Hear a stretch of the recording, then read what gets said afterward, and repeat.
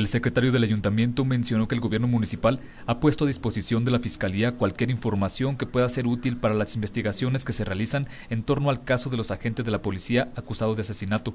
Bueno, miren, nosotros pusimos a estos elementos a disposición de la Fiscalía General del Estado.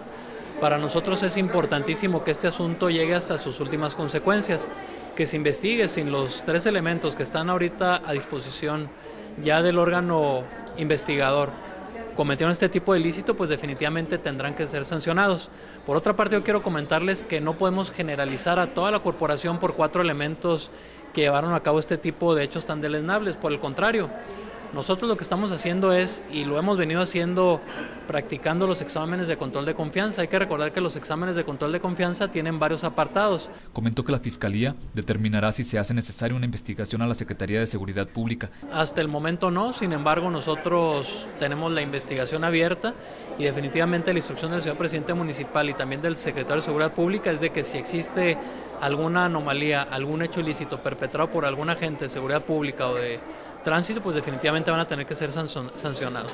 Añadió que el gobierno municipal apoyará la determinación de las autoridades que llevan el caso y ofrecerá las pruebas necesarias para sancionar, conforme a la ley, a los agentes de ser declarados culpables.